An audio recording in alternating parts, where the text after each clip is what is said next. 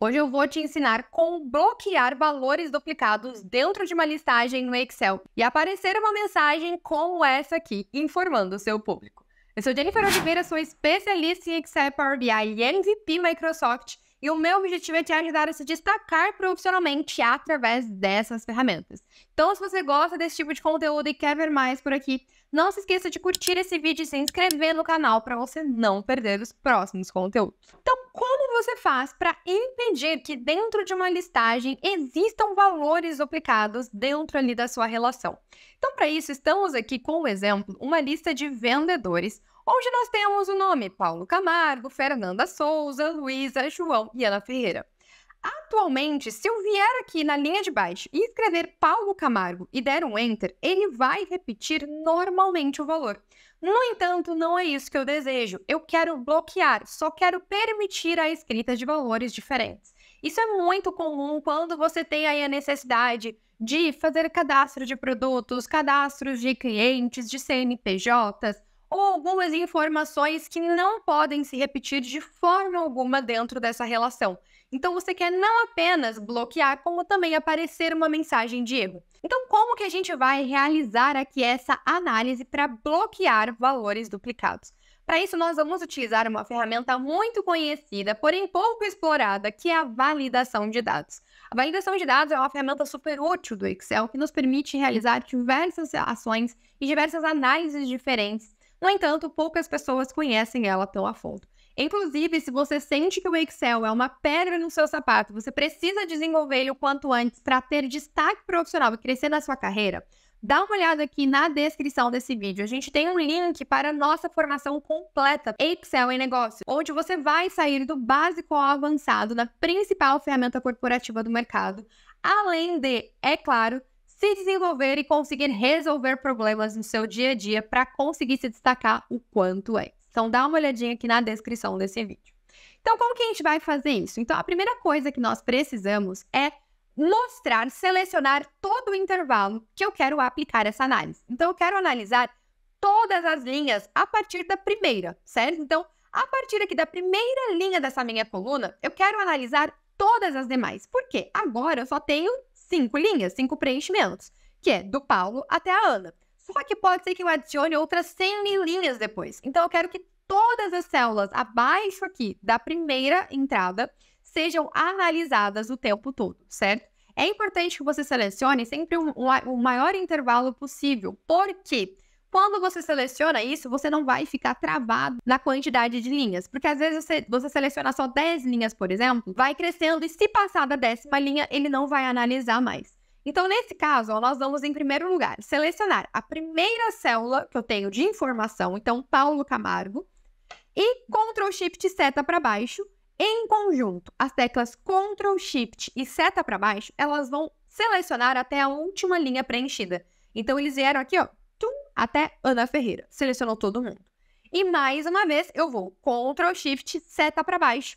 Vou selecionar até a última linha do meu arquivo, perfeito? Selecionei absolutamente todas as células aqui possíveis. Para a gente aplicar aqui a validação condicional, eu vou até subir aqui, ó, só para ficar mais fácil de ver, mas atenção, é muito importante que você mantenha a seleção de todas essas células. Agora nós vamos até a guia de dados e aqui dentro nós vamos procurar pela opção de validação de dados, que é essa miniatura aqui, ó. Quando a gente passa o cursor, aparece aqui o nome validação de dados. Dependendo da versão que você estiver utilizando do seu Excel, pode ser que ele esteja posicionado diferente ou uh, com o nome até mesmo aparecendo. Então é muito importante que você se atente ao que é e aí você procura na sua versão onde é que ela está posicionada, tá bom? Então vamos aqui, ó, em validação de dados e prontinho, abriu a janela da validação. E como que a gente vai fazer aqui? Né? Então, uma vez que abriu aqui a validação, o que, que nós queremos? Nós queremos permitir qualquer valor? Não, nós queremos personalizar. Por quê? Eu não quero um número inteiro, eu não quero um decimal, uma lista, nada disso. Eu quero personalizar. Por quê? Eu quero permitir que entre aqui apenas valores exclusivos. Então, vamos pensar na lógica do que eu quero fazer. Eu quero que ele analise todas essas linhas, todas essas células, e a cada nova informação, ele avalie se aquela, aquele nome que eu estou trazendo já apareceu antes. Então, ele vai avaliar, ele vai olhar para o nome, para o texto que você escreveu, e ele vai contar quantas vezes ele já apareceu. E eu só vou permitir que apareça quando esse nome estiver aparecendo pela primeira vez. Então, quando ele tiver apenas um item aqui dentro. Se eu for escrever aqui novamente Paulo Camargo, por exemplo, ele iria contar dois. Por quê? Paulo Camargo já tem aqui, então eu já tenho o número um. E se eu colocasse ele de novo, ele ter, estaria aparecendo pela segunda vez. Então eu quero bloquear essa situação.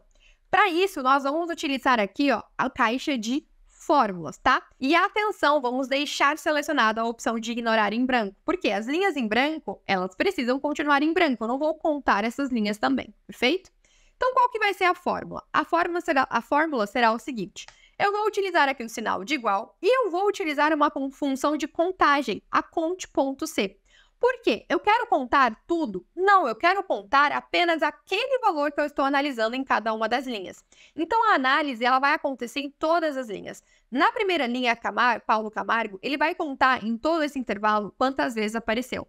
Na segunda, a mesma coisa. Na terceira, e aí sucessivamente. Conforme eu for adicionando novas informações, ele vai realizar a mesma análise. Ele vai contar quantas vezes o nome que eu estou colocando já apareceu dentro dessa listagem. E se ele for maior do que um, eu vou bloquear. Como que eu vou contar? Primeira estrutura do conte.c é, eu abri aqui o parênteses, eu vou, em primeiro lugar, selecionar o intervalo que eu vou analisar. E aí eu preciso selecionar exatamente o mesmo intervalo, certo?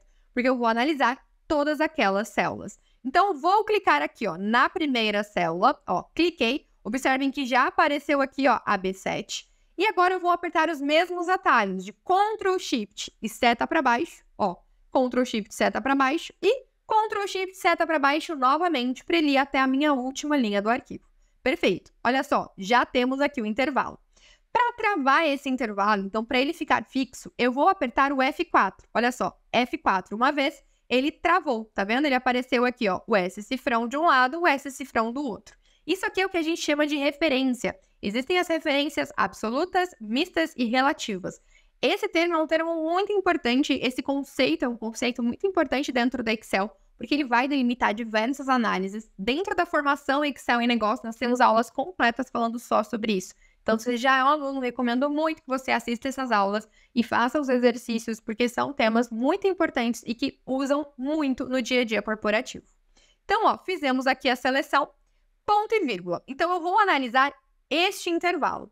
Agora, eu vou analisar esse intervalo e eu vou contar o quê? Eu vou contar a informação que está dentro de cada uma das células. Para isso, vamos selecionar então a primeira célula. Jenny, mas como que eu vou continuar analisando se eu estiver na célula 12, por exemplo? Justamente porque nós não vamos travar e nós selecionamos todo o intervalo antes. Então, ó, ele está todo selecionado aqui, tá vendo? Como nós fizemos isso, ele vai descer automaticamente a análise para todo mundo. Então, essa referência relativa vai puxar para todas as demais linhas. Então, conforme eu for escrevendo, ele vai continuar analisando. Então, vou deixar assim, não vou apertar F4 agora e eu vou fechar o parênteses. Só isso? Não, eu quero contar? Sim, só que eu tenho uma condição. A condição é que ele seja no máximo igual a 1. Então, eu vou colocar aqui o sinal de igual e o número 1. Então, eu vou permitir apenas se for a primeira contagem. Se for a segunda, eu já não vou permitir, porque eu não quero valores duplicados aqui dentro. Então, coloquei aqui o sinal, o igual a 1, e eu ainda posso vir aqui, ó, e colocar o alerta de erro. Então, eu posso alterar, ó, aviso aparece assim, informações aparece o izinho e o parar aparece o X. Eu vou deixar o X porque, de fato, ele está bloqueando. E eu vou colocar aqui, ó, uh, nome de vendedor não permitido, certo? Vou colocar o título do meu aviso. E a mensagem de erro será valor não permitido, não, valor já cadastrado. Para seguir com a inclusão, colocar um valor diferente. Aqui você pode escrever a mensagem de erro que você quiser, tá? Essa, esse alerta de erro é a mensagem que vai aparecer quando alguém tentar colocar um valor duplicado. Então, ele vai bloquear e vai aparecer o erro. Então, colocamos aqui essa informação e prontinho, ó. Deixa eu voltar aqui em configurações temos a nossa fórmula. Se eu dou um OK agora, ó, aparentemente nada mudou. Se eu vier aqui escrever, opa, se eu vier aqui, ó, aqui embaixo, e escrever Jennifer Oliveira, consegui perfeitamente. Agora, se eu escrever Paulo Camargo, olha só, não deixou. nome de vendedor não permitido, valor já cadastrado para seguir com a inclusão, colocar um valor diferente. Vou repetir, ó. Vou agora tentar a Luísa Amaro. Dei o enter, a mesma coisa. Então, a partir de agora, sempre que tentar colocar um valor que já tenha sido incluído na relação, ele vai bloquear e vai aparecer esse erro. Já me conta aqui se você sabia dessa opção, se vai te ajudar. E não se esqueça de curtir esse vídeo e se inscrever no canal para não perder os próximos conteúdos. Um abraço e até a próxima!